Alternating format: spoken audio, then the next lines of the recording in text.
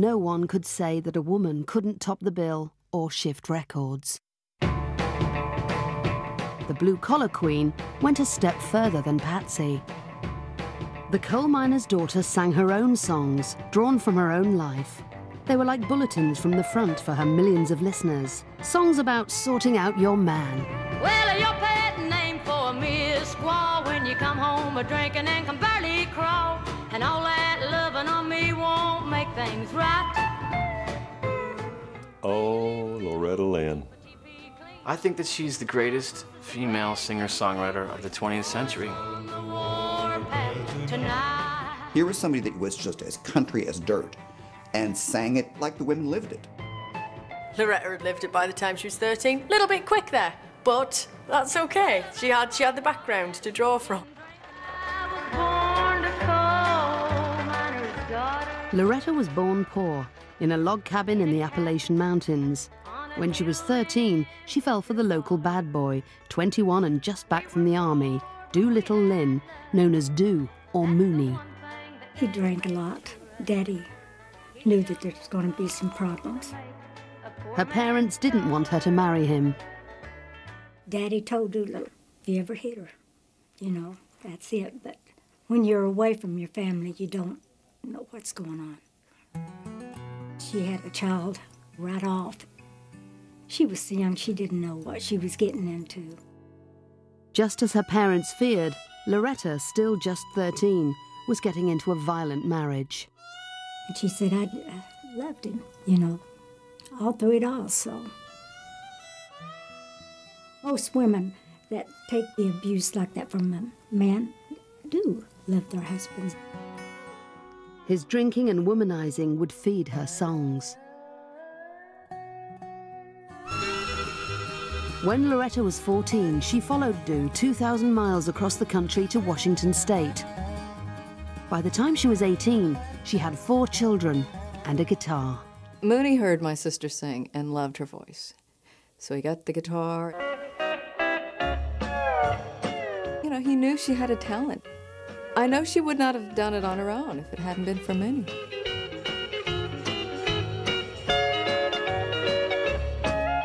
Loretta won a local talent contest, which led to a TV appearance and a record, I'm a Honky Tonk Woman. They sent out thousands of copies to radio stations, but they weren't getting played. They said, well, I guess the best thing to do is just hit the radio stations on the way to Nashville.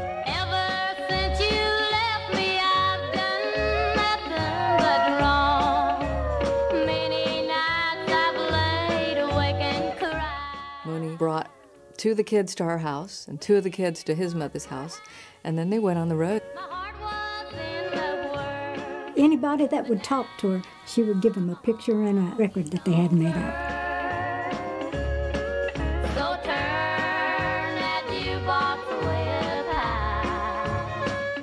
By the time that they had got to Nashville, her song was in the charts, and that was unheard of at that time.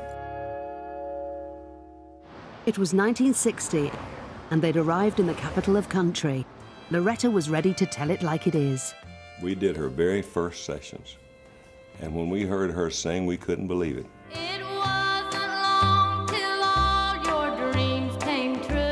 Loretta had the same producer as Patsy, Owen Bradley. He didn't push Loretta towards pop. The first session that we cut with Loretta, I told my brother, I don't know what it is about that woman, whatever's in her heart comes out her mouth. And he said, Yeah, he said, I thought she was sincere. He said, That's why I signed her. If you don't want to go to Fist City, you better detour around my town. There's no schmaltz about her. There's no kind of like torch song kind of feel to any of it at all. It's very, very honest. She's fearless. Looking back, sex didn't mean that much to me for a long time. What do you mean by that? Well, if you don't know how, you just don't know how, right? Yeah. right. You don't know what to expect? Or no, what... you really don't know anything about sex. You just, it takes you years to learn. I think it did me. The dog is a barking and the floor needs a scrubbing. One needs a spanking and one needs a hugging and one's on the way. She's in a situation where she's got babies, you know, so write about having babies. Hope it ain't twins again. You write something that you know about, and that's what real writing is about. Owen saw that the real Loretta had to shine through the songs, however it sounded. I love the line when she says, "The work we done was hard. At night we slept 'cause we was tired." People would say, Owen, why didn't you change that? And he said, no, because that's Loretta. Well, you thought I'd be waiting up when you came home last night. Her best known song was co written with one of her sisters. Some of the radio stations banned it because they thought it was a little dirty, Bob. Couldn't figure out why.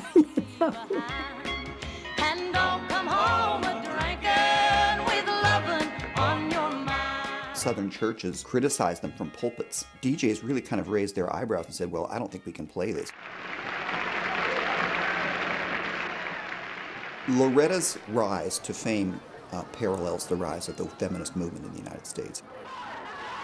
Feminists recognized that this was somebody who was definitely sticking up for herself as a woman, and that very much dovetailed with the mood of the country at the time. All these years I've stayed at home while you had all your fun.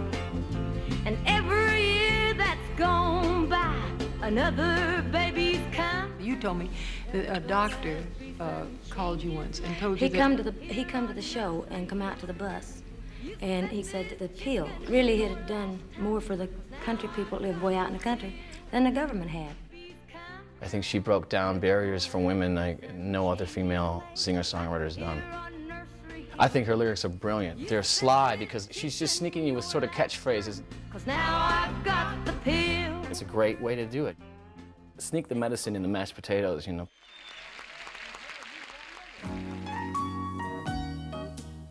I relied more on maybe the subtle ways of saying things. Where I would maybe gloss it over and don't make my brown eyes blue. Loretta would do it in, okay, honey, I'm getting you. if you don't come home. In 1980, Loretta's life story became an Oscar winning film. I went to the premiere of the show.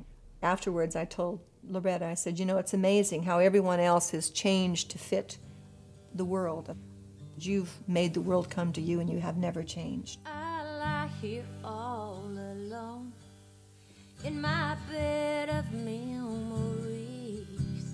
She's this little bird-like person with a really sweet voice. And yet she must be hard as nails because she's had such a life.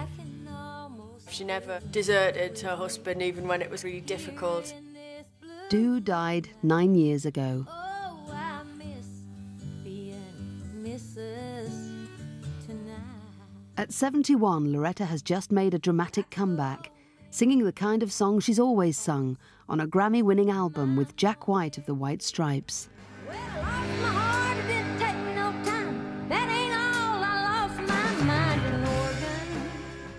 intention of making that record was let's get down to the soulfulness that's inside of her.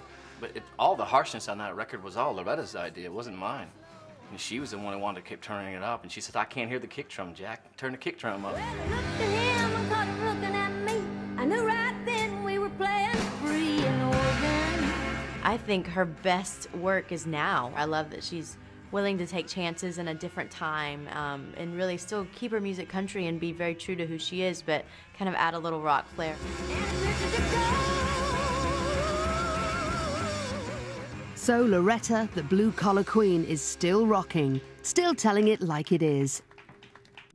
But one queen quit 35 years ago and hasn't been seen in public since.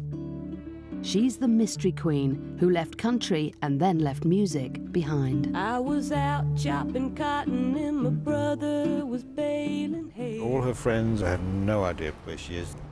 One of the great mysteries of music. And we stopped and walked back to the house to eat. The song that made her name is a mystery too. It's just one of those records we've never heard anything like it. I didn't know what was going on in the lyric. I had no idea, and it was um, it's creepy. And she said, I got some news this morning from Choctaw Ridge. Today, Billy Joe McAllister jumped off the Tallahatchie Bridge. happy bridge. And she never would tell me what Bobbie threw over the Tallahatchie Bridge. When Bobbie was a little girl in the Mississippi Delta, her grandma swapped a milk cow for a piano for her. At six, she could play by ear, and at seven, she wrote her first song, My Dog Sergeant is a Good Dog, immortalised years later on BBC TV. Sergeant, sergeant, sergeant, sergeant, sergeant, sergeant, sergeant, sergeant, my dog sergeant is a good dog. Born Roberta Streeter, she chose a stage name from a movie about a girl who left her country roots to become gentrified. Bobbie became so gentrified that, unlike the other queens, she left the South and went on to college to study philosophy and music. But she also worked in Las Vegas in casinos and cabarets. It's always her childhood that rings through her songs the daily life and colour, the values and hypocrisies of the Deep South. Just outside of Delta Country, where the bitter weeds grow and wide. They were like Brer Rabbit stories. They were folk stories. They were just about her life. Checking feeds and bricks, and ruby ring from a cracker box. She played this three-quarter of the size guitar, which just gave it a lovely, almost ukulele sound, and very bluesy, very funky bluesy sound. He said he saw a girl that looked a lot like you up on Choctaw Ridge. And she and Billy Joe was throwing something up the Tallahatchie. In 1967, Ode to Billy Joe topped the US pop charts for four weeks, selling 3 million copies and made the charts here. It's just incredibly evocative and cinematic. The amount of detail in it, a family sitting around a table, passing black-eyed peas to each other and all these things that, you know, obviously you don't get in Croydon. Was it an engagement ring that the couple threw from the bridge before Billy Joe jumped off himself, or a baby?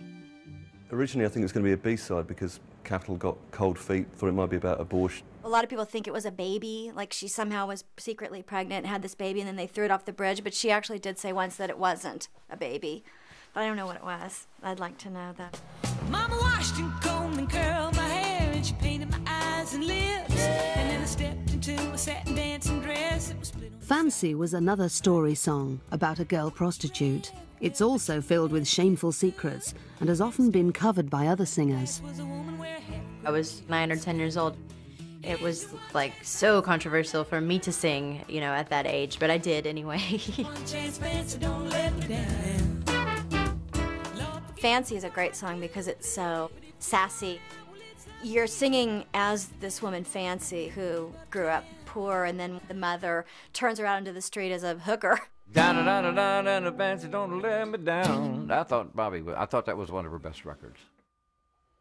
Bobbie was a good singer. She had her own sound. When you heard her on the radio, you knew who it was.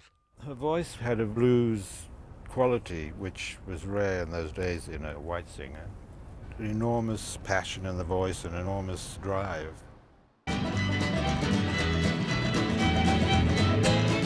Bobbie became a star in Britain with her own TV show. It was one of the very first programmes to be shown in colour on the new BBC Two. It was a folk country variety show. She wrote the show. She knew what she wanted. Very enthusiastic about everything. Very, um, very on all the time. Glen Campbell was a guest on the show. He and Bobbie started singing duets. I bless the day I found you. Their voices were just perfect together. They liked her better in Mississippi than they liked me. I'm kidding. Of course, everyone assumed they were doing more than singing together. There were rumors of an affair with Bobbie Gentry. Uh, I know. I, I neither one of us ever initiated anything like that. It was like I mean, she was she was Bobbie's my buddy. What do you get when you fall in love? A guy with a Bobbie married and divorced three times. The problem is, is that I married too soon. My career had just started. I was scared to death that if I didn't do every interview and make every appearance, that I would wake up and it would have all gone away overnight. With her last husband, she had a child. I saw her just when the baby was born, which must have been maybe 20 years ago, and then she just disappeared. One theory is that she bowed out because she couldn't get the control she wanted in the music business. I applaud her for it. She just stepped down and says, I'm going to do what Bobbie wants to do and not be led around by an agent or a manager. This was where she lived all of her adult life. There's been no songs, there's been no music. This tremendous talent just stopped.